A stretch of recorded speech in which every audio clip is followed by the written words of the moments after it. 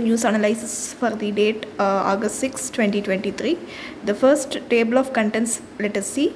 Uh, let us see the detailed analysis of the Digital Personal Data Protection Bill, Rohini Committee on Subcategorization of OBCs.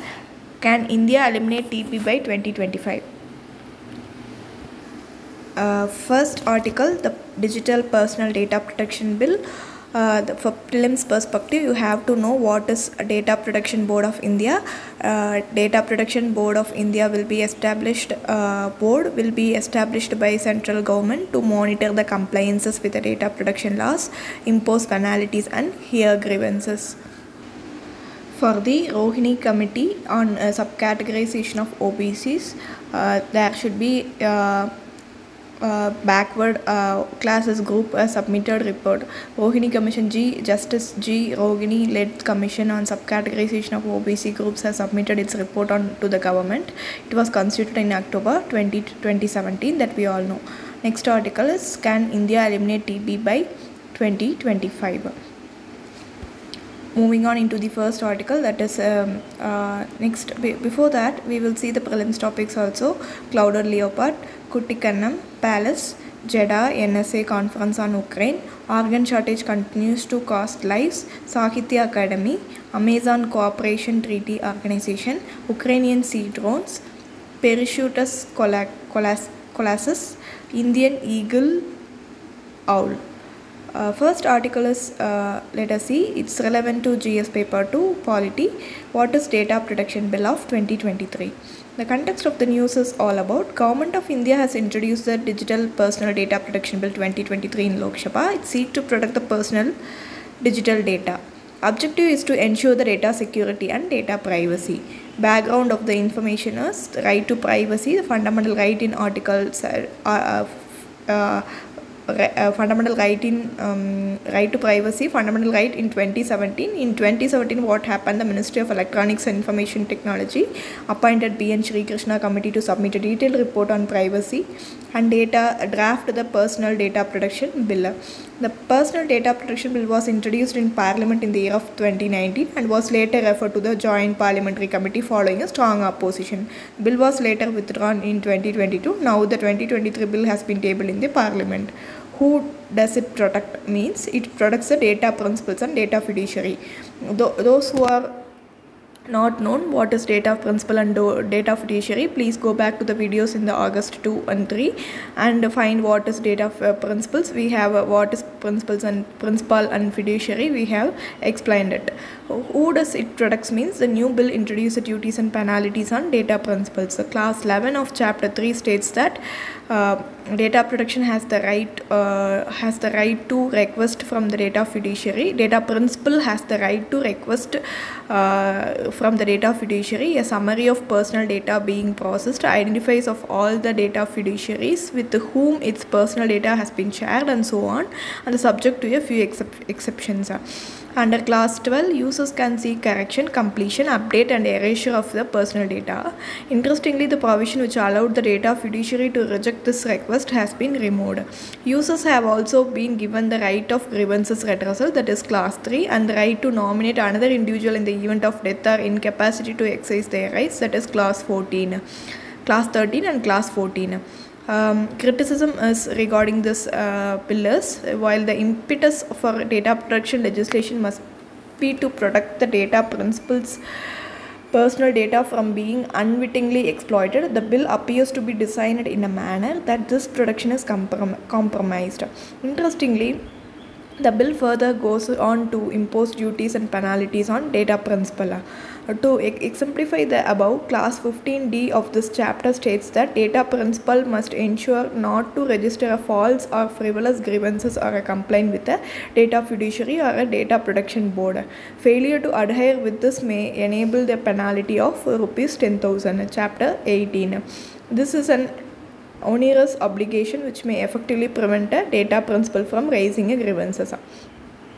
Who does it exempt means a cause of great concerns that arises in the bill is uh, is the exemption of, exemption under the class 17 uh, class 17 part 2a which if, it, if notified is granted to the government and its authorities. On five specific grounds the ex- bill exempts the government authorities and notified marking um, marking a discernible expansion of the scope of exemption. Personal data which is processed for research archiving statistical purpose will also exempted ex- exempted from uh, under class 17 um, part 2b um, while previous iterations of the bill also provided exemption, this has now been broadened to the state that data processing undertaken by the union government on information provided to it by an exempted instrumentality will continue to remain exempted uh, from the purview of this law. You have to know what is the data, um, of, uh, uh, what is you, European Union's General Data Protection Regulation defines as personal data means personal data is an any information related to the person that can be used to directly or indirectly identify them including name, location data, online identifier, an identification number, health information, physical attributes, economic and cultural or social identity of a person. What does it seek to amend means the changes that the bill seeks to implement by the by way of clause 44 are significant. For instance, section 43A of IT Act 2000 imposes an obligation on corporates to award damages to the affected person in case of negligent handling of their sensitive data. Clause 4 44 class part 2 of the bill aims to exclude the application of section 43a thereby rendering an individual who has suffered breach of their data without any relief what does it seeks to amend means class 44 class 3 which seeks to amend the entire section 81J of Right to Information Act 2005, replace it with the information which relates to the personal information, has received a high criticism from stakeholders. Previously, the qualifier existed which narrowed the information that could be withheld by the public information officers. Now, the removal has no relationship to any public activity or interest or which would cause an unwarranted invasion of the privacy of the individual which widens the scope of withholding the information. Does it protect the users means a widely appreciated departure from the previous iterations is the data fiduciary's obligation to notify the data principal in case of personal data breach. Other obligations imposed on data fiduciary includes notifying the data principal about the purpose for which their data may be processed and the manner in which the, they may make a complaint to the uh, DP. uh, digital personal um, DPB withdraw uh, consent and seek a uh, grievance redressal. Let us move into the next article that is relevant for the GS paper 2 polity. Why are Rohini panels finding important? The context of the news is all about uh, the context of the news is the Justice G. Rohini led commission on subcategorization of OBC constituted in October 2017 submitted its long awaited report to the President of India on July 31 after having received 14 extensions in the last 6 years. The President had formed the commission uh, headed by a former Delhi High Court Chief Justice G. Rohini in October 2017 to examine the questions of subcategorization, subcategorizing the over 2600 caste group listed in the central OBC list. What, what has the commission examined means? In the notification announcing its formation, the commission has was tasked with first examining how much of 27 percentage reservation in jobs and education and other government benefits meet for OBCs was dominated by which caste groups. The commission has arrived at a conclusion that a small number of caste groups among all OBC groups were dominating reservation and other government benefits. What has the commission examined means the commission went to uh, the commission went to went on to explore the way of subcategorizing the, these existing OBC in order to make sure the benefits can be redistributed equitably. This involves breaking up all the OBC caste group in further categories based on how dominant the community have been in availing government benefits mean for OBCs. Subsequently, the commission proceeded to work out a formula for breaking up the caste groups in a way that would make the highest share of 27 percentage pie available to the groups that have historically been crowded out of them. The least share of the pie going to caste groups that have so far dominated this sphere why are the findings significant means the rohini's commission's finding is expected to, to throw up the exact number of obc communities that have available availed the benefits since reservation for them began in 1992 this data set to set will uh, for the first time show that show the changes if any in the socio-economic status of obc community that have historically been uh, able to avail the benefits demand for caste census and electoral implications Next article that we are moving is related to the TB detection. Smear microscopy share still holds sway. Uh, it's uh, relevant to GS paper 3 science and technology. According to uh, according to the uh, world health statistics uh, um, communicable diseases in the sustainable development goal target 3.3 end the epidemics of aids tuberculosis uh, that is by 2030 TB especially by 2030 malaria and neglectable tropical diseases and combat hepatitis waterborne diseases and other communicable diseases. The summary findings have found that TB incidences around 10.6 million fell ill with TB in 2021 and an increase in from 2021 it's a developing and underdeveloped countries uh, deaths or incidence of deaths are um, around um, 10.6 million. Uh, let us uh, move on into the World Health Organization's Global TB Report 2022. According to it, over 40% of people with TB across the world were not diagnosed in 2021, and in India, large number of people with TB were diagnosed even prior to the pandemic itself.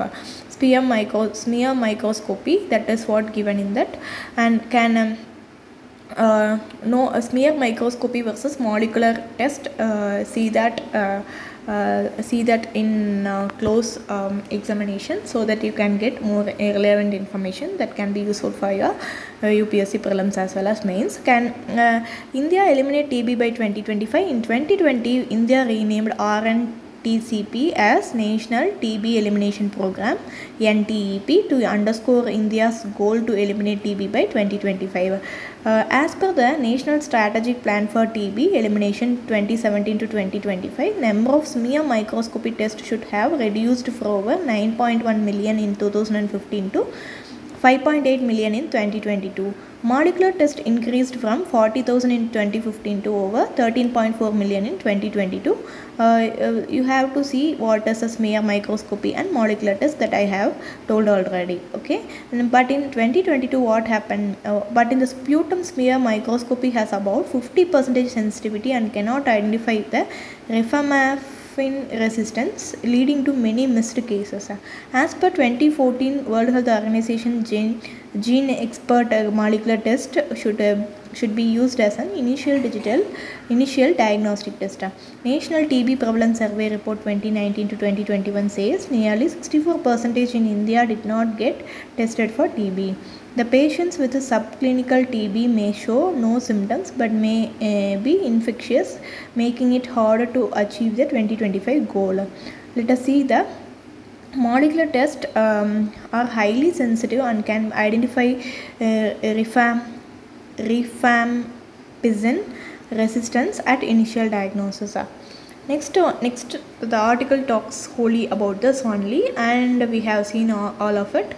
Uh, after which uh, we will go into the prelims, uh, prelims articles that are uh, relevant for uh, UPSC prelims. Okay, the page the page one contains a cloud or leopard plays an hide and seek in booths. Reveals uh, new study reveals endangered species does not follow any specific pattern of operating in space and unlike other carnivores.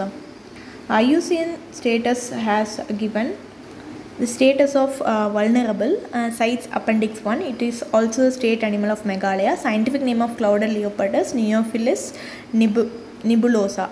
The clouded leopard is an arboreal cat spends most of its time in trees the average lifespan of the clouded leopard is 12 to 15 years.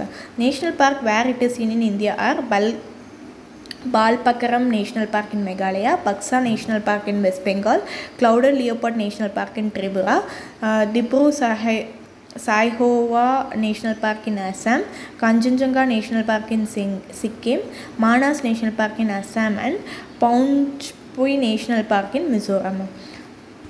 Next article that is relevant for history eh, that is 130 year old palace in Kerala to be declared a um, monument.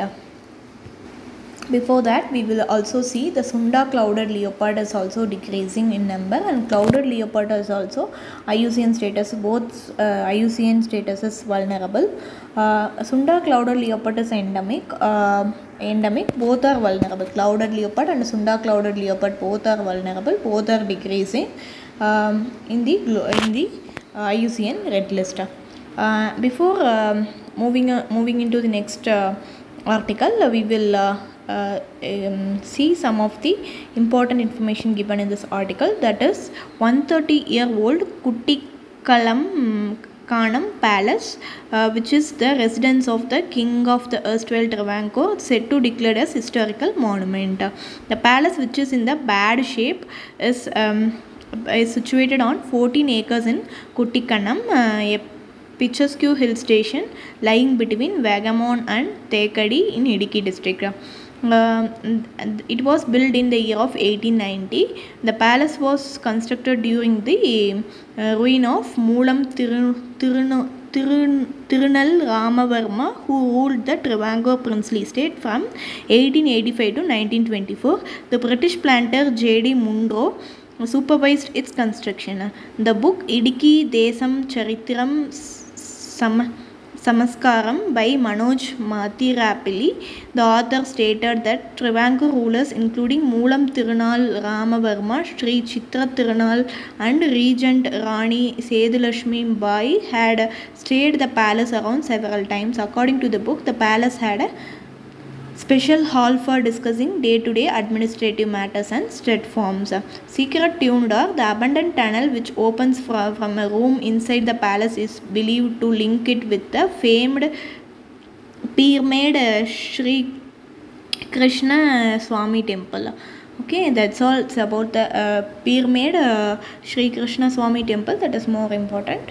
See that also. Okay, thank then uh, next uh, that um, ne- next article that we are moving into is uh, related to international relations. Doval in Jeddah for two two day peace conference for Ukraine. Jeddah is a place in Saudi Arabia that we had already um, uh, discussed. Uh, the thing that we are noting from this articles are the Ukraine officials to pitch for support from Global South India, keen to push for G20 consensus, and uh, Saudi Arabia.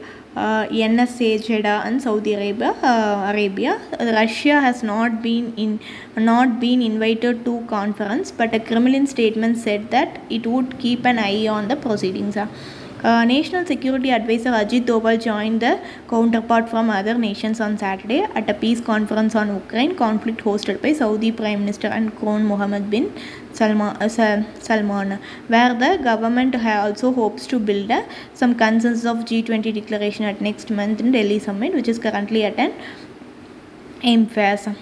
Uh, the next thing is, in particular, the conference is expected to make a pitch to global uh, uh, global south countries including India, Brazil, South Africa and Mexico that have far kept neutral stance, neutral stances to take a keener interest in pushing the pushing for the end to conflict between began in February 2022. Uh, next thing that we are moving us uh, is about um, Ukraine is also keen on support for its president Volodymyr Zelensky peace formula, which is includes pull out Russian troops and hopes to host its own conference uh, conference later this year. Uh, Jeddah, where where he met his counterpart from US, UAE, and Saudi Arabia for quadrilateral talks. Uh, the way um, the way that strengthens the international peace and security, sparing um, uh, sparing the world for further humanitarian, security, economic, and repercussions of the uh, crisis. The official Saudi press agency said. Uh, Ajit Doval greeting Indian embassy officials in the Saudi Arabia in Jeddah is given in the picture. Next article is all about organ shortage continues to cost lives. It is relevant to the governance perspective. Uh, we we are we are seeing this article in the prelims perspective as national organ and tissue transplant organization what it is. And for means it organ donation is important. The current statistics according to the current statistics um, india has waiting list india has a waiting list um, of over 3 lakh patients for organ transplant. At at least 20 percent die, persons die each day waiting for an organ. Number of organ donors grew from 6916 in 2014 to only 16000 in 2022 india's diseased organ donation rate is currently under one, one donor per million population and it needs to be increased from 65 donations per million population to meet the demand of the organs Spain and the US have better organ donation systems, clocking 30 to 50 donations per million. Reason for fewer organ donations are lack of awareness, religious cultural beliefs, fear of exploitation, lack of trust in the medical system, lack of infrastructure, and lack of incentives for doctors. In the net graph, India has a severe shortage of organ donors. The organ uh, donation, uh, uh, the organ donors has increased, but this is still not enough to meet the demand of the organ. There are many reasons for shortage of organ donors, including the uh, um, lack of awareness and uh, lack of trust in the medical systems. Uh, next article that we are moving into is related to Sahitya Akademi to publish poems from. mm, G20 nations. The Sahitya Akademi means uh, it is an India's National Academy of Letters. It is an organization dedicated to the promotion of literature in the language of India. Founded in 12th March 1954, it is supported by, mm, though independent of the Indian government, its office is located in Rabindra Bhavan near Mandi House in um, Delhi Sahitya Akademi organizes national and regional workshops and seminars and provides research and travel grants to authors, publishes book and journals including Encyclopedia of Indian Literature and presents the annual Sahitya Akademi Award of YNR um, 1 lakh in each of the 24 language it supports as well as Sahitya Akademi Fellowship for Lifetime Achievement. Sahitya Akademi Library is one of the multilingual library in India with a great collection of books on literature and allied subjects. It publishes two bi-monthly uh, literary journals like Indian Literature in English and Samki, Samka Samkalin Bhara- Bharatiya Sahitya in Hindi. Next article talks about Lula to host South American meet to save the Ama- Amazon. Uh, in this article talks about the Amazon Cooperation Treaty Organization. It is an intergovernmental organization formed by eight Amazonian countries like Bolivia, Brazil, Colombia, Ecuador, Guyana, Peru, Suriname, Venezuela, which was signed by Amazon Cooperation Treaty, becoming the only socio-environmental bloc in Latin America. This treaty organization, with a broad vision of South-South cooperation process, works in the different dimensions within the framework of implementation of Amazon Cooperation Treaty political, diplomatic, strategic, technical, building uh, synergies among the governments, multilateral organization, cooperation agencies, organ- organized civil societies, social movement, social movements, scientific communities, and productive sectors and society as a whole. Uh, Amazon Cooperation Treaty is an international organization aimed at the promotion of sustainable development of Amazon basin, and its member states are already we have seen. The Amazon Cooperation Treaty was signed in July 3rd, 1978 and amended in 1998. It was created in 1995 to strengthen the implementation of the treaty and the permanent secretariat was later established in Brasilia in 2002. Let, let us move on into the next article that is the Ukrainian drone hit the Russian ship in yet another sea attack. Uh, you have to note down the Navo. The port is located in the Black Sea. Next article that we are moving into is related to geography. That is 340 tons whale species lived 39 million years ago.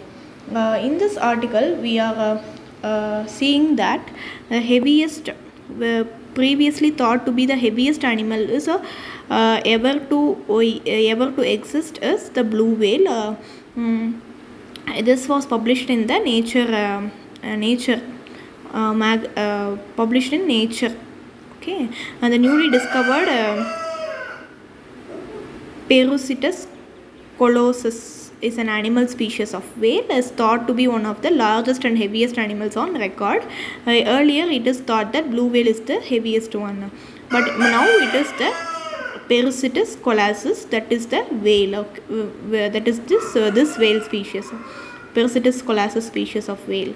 Okay, and presenting the heaviest animal ever described, the animal is modeled from partial skeleton including 13 vertebrae, 4 ribs, 1 hip bone discovered in southern Peru, estimated to be approximately 39 million year old and is predicted that the skeleton mass could be 2-3 times that of 25 meters long blue whale.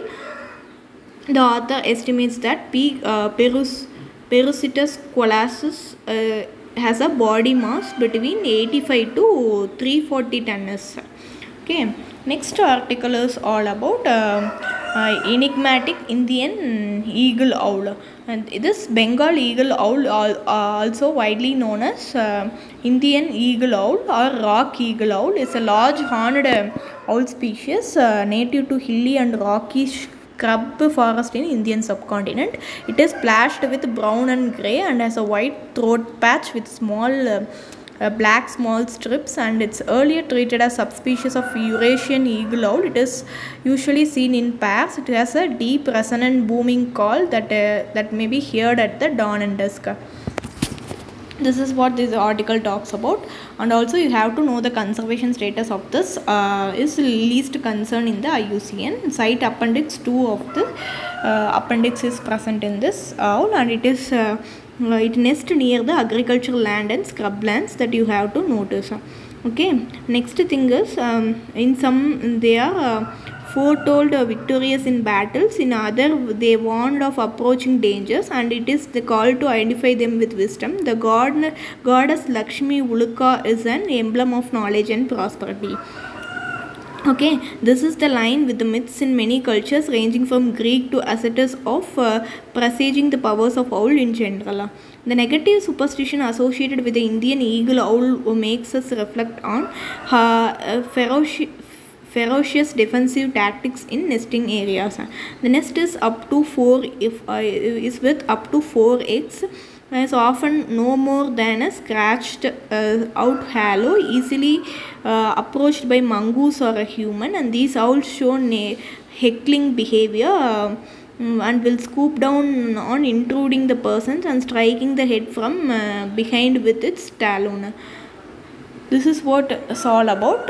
Next one is mains practice questions. Critically evaluate the digital personal data protection bill 2023 with 15 marker that is 250 words and also 250 words on examine the recommendations of rohini committee committee on subcategorization of obc that's all for today. Thank you. Thank you so much for watching. Uh, do subscribe for more updates